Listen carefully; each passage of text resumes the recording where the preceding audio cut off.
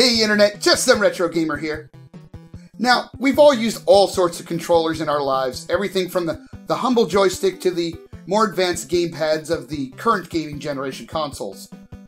But there are some truly bizarre controllers out there. And just because they're different doesn't mean they're good.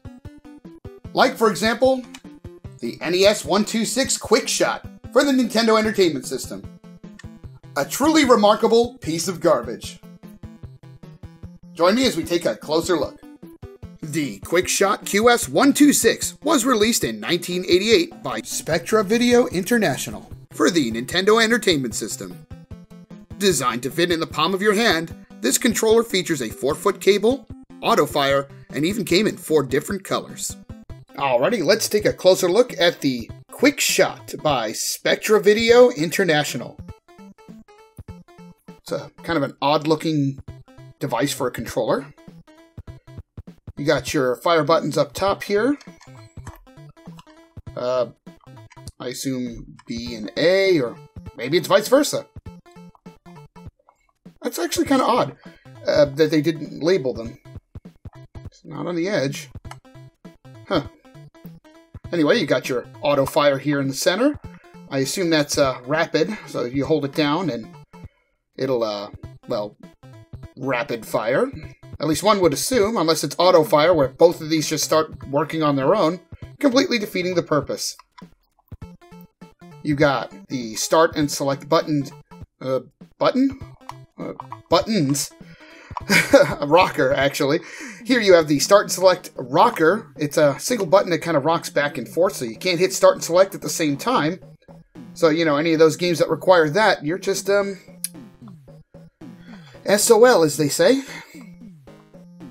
And last but not least, there's the directional disc. A lot like the ones on the ColecoVision. You get it doesn't really I guess it does kind of spin, but I don't think it's supposed to.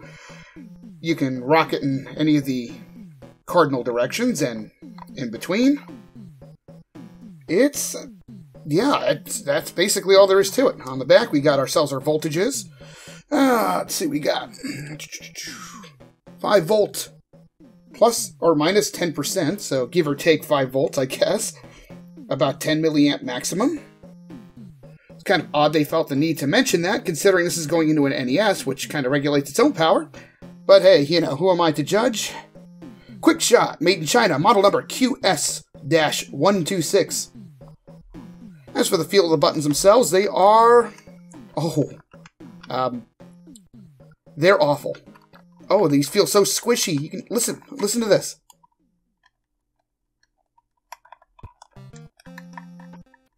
You can kind of hear the whole thing flexing as I push the button. That's a telltale sign of a quality product. Oh, it is squishy. Uh, yeah, definitely rubber membranes. It feels super cheap. I assume you hold it like this. One would assume anyway. This way I have access to the very, very sticky... very, very squishy and sticky buttons. And then I use this hand to control the D-pad, or D-circle, I guess is what this would be, which um, is very counterintuitive considering that an actual NES controller pretty much any control, any modern controller is reversed. This, however, looks like at least the only comfortable way I can find to hold this thing. You're using the uh, left hand for your A and B, and then your right hand for your uh, direction directional pad here, a lot like an Atari joystick. So um, that'll be interesting. Let's see how this thing actually runs on some games. Alright, let's actually see if we can play anything with it.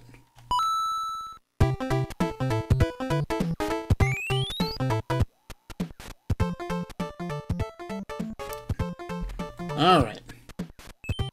Well, yeah, moving around, that's uh, awkward, but a little uh, weird, but okay.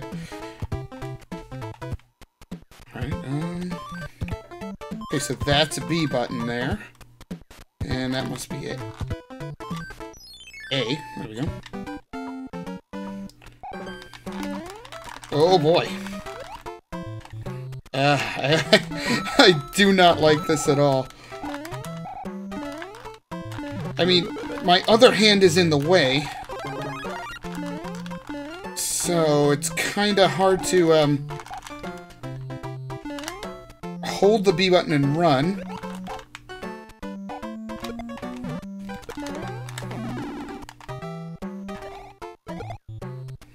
At the same time, because my other hand is like right behind here, so I'm like I'm holding my own hand while I'm holding the controller, and it's kind of awkward.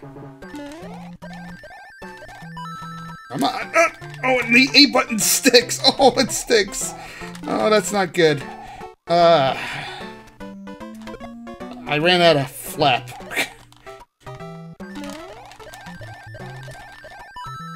Come on. I'm pushing it, and it doesn't... Whatever, we made it to the end of the level. Oh, that is just awful. Alright, we got Galaga loaded up.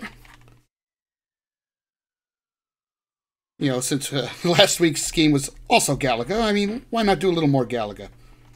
Galaga, Galaga, Galaga. This is the song in which I fly into space and get blown up. Alright. Let's see here. Okay, no turbo on. I mean, I ain't gonna lie, this is fine. This isn't really my preferred way to play it. But, uh, I mean, it works. Pop on that turbo.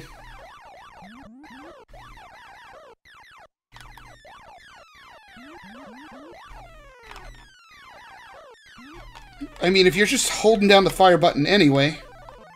Take me, I'm yours. Oh no! I mean, if you're just holding down the fire button anyway, I mean, you only have to push left and right, so it's not really that difficult um, to use this controller with uh, with Galaga. I mean, I guess that kind of makes sense considering it's just an arcade game.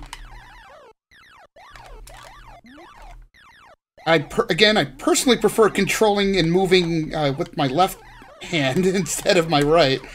Uh, it, this feels just kind of wrong, which is weird because you know it feels perfectly fine on an Atari. Well, that pretty much went as expected. Hopefully this does as well.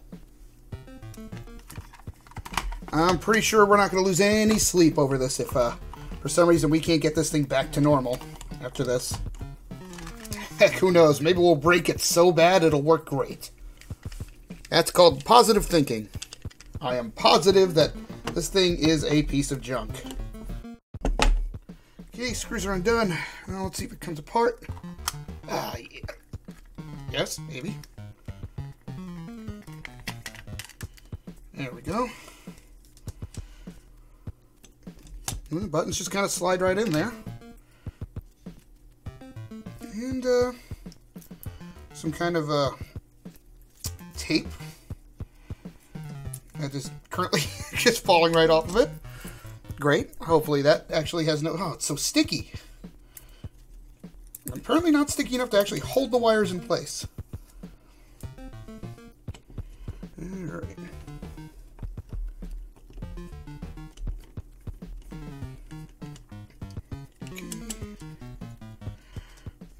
Oh, this thing feels so sticky. It's just the residue from the tape. At least I hope it is. Alright, we got that out of the way. Bada boom, bada bing, and there's our controller. Uh, traces and all. Oh, look at that. Isn't that just something? Oh, you got melted, uh, got melted wires here on it. Some, uh, awesome soldering job. Fantastic. 10 out of 10. Uh, it it looks as it, it literally is as cheap as it felt. I mean, I don't know if anyone prior to me has taken this apart or not. All I know is that this is definitely not the best quality product I've ever seen. Well, it just doesn't look as nice as uh, an uh, actual NES controller. I mean, who would have thought, right? Well, there you have it. Good controller, piece of crap. I'm sorry to say that the QuickShot's only redeeming feature, in my opinion, is its auto fire capability, which is something you can get on pretty much any third party NES controller at the time. Beyond that, this thing's a huge waste of plastic and circuitry that would have been better spent on, well, pretty much anything else. This controller gets my retro rating of 2 out of 10. The only quick shot that these things deserve is a quick shot into the garbage. As of this video, you can actually pick this controller up on eBay for roughly around $10. And actually, that's brand new. Now, that doesn't speak volumes of the um, quality of this controller. I really don't think anything will. I mean, I've personally never used a bigger piece of garbage controller in my life. It's awkward to hold, first of all. I mean, for me, and well, most modern gamers, you use your right hand to uh, use A and B, and your left hand to use the D-pad. Everything's backwards on this. I mean, I'm, I'm assuming I'm holding it right. As you're pressing the buttons up top here, they tend to stick. I mean, it's sticking right now, even. And you couldn't even press you couldn't even press start and select together. So if you want to do a code that requires you to press, you know, the start and select buttons together, you couldn't even do that. It's awkward to hold. Um, the buttons themselves are just super soft. It's like the cheapest thing I've ever used in my life. It creaks as you hold it. The, the, the cord itself is significantly shorter. I think maybe about 50% shorter than the uh, than the original Nintendo uh, control uh, controller cord. It's just awful. This thing is just just plain awful.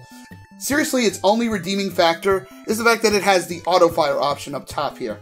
And even that's like whatever because you can get that on almost any other third-party controller. This thing is truly quite shabby.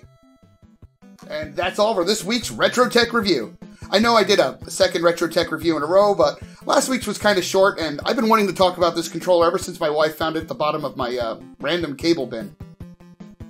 Did you ever use this controller growing up? I'm so, so sorry. But if you did and you liked it, well, just let me know down in the comments below. It could be because I never grew up with it, but I personally can't see how anyone could have used this controller and, you know, truly enjoyed it. But I've been wrong before, and I will be wrong again. That's my mission statement. As always, a special thanks goes out to my Retreon crew. Your guys' support means the world to me, guys. I sincerely, I sincerely mean it. Thank you so much for everything you guys do. You guys are amazing. And you rock. Thank you. As always, I'm just some retro gamer. Keep on gaming. Till next time.